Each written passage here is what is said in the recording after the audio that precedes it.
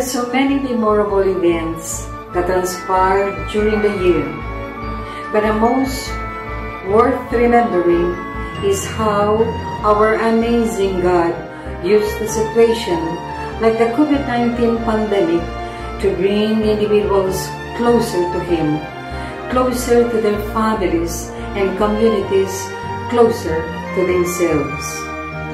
He brought changes in the lifestyles of people by giving value to their family, friendships, and lot of prayers.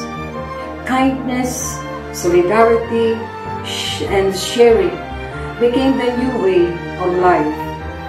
This is the very essence of Christmas. God, our Father, gives only begotten Son for His great love for us, to redeem us, to bring us back to Him.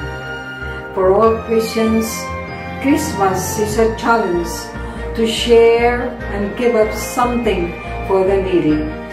A challenge to proclaim the good news that a Savior is born, that is with us to bring salvation, peace, and joy.